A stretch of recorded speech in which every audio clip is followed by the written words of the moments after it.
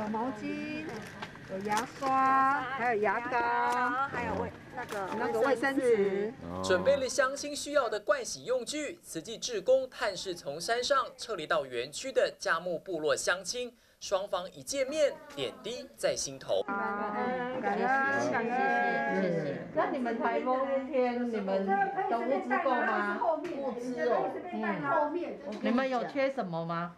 当然很缺很多嘛，不会忘记你们的爱心，你们很有爱心。那个时候我们没有地方睡，没有地方住，没有没有吃的，没有衣服，没有棉被，什么都没有，都是你们帮忙，我一辈子永远不会忘记。部落乡亲趁风雨来袭前回到长治乡的慈济大爱园区，心里感觉很踏实。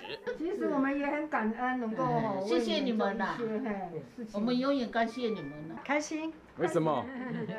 有你们在。送上了干粮和能果腹的物资，互道珍重。志工也前往其他部落的村长家。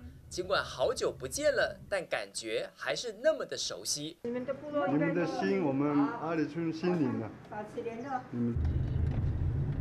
哦，我的媳妇。哦。刚好刚好坐月子吧，是不是？当然是心里会有很多的伤痛然后。像这个你们直接这样的帮忙，以及其他的那个就是慈善机构，然后协助我们，让我们拥有这个。永久的话，那是真的是对我们来说是帮帮助很多。村长抱着两个月大的孙子，和志工们亲切的问候，大家闲话家常，就像老朋友一样。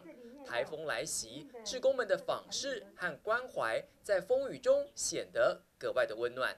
大爱新闻，翁楚文、王昭忠、戴敦仁、陈丽英，屏东报道。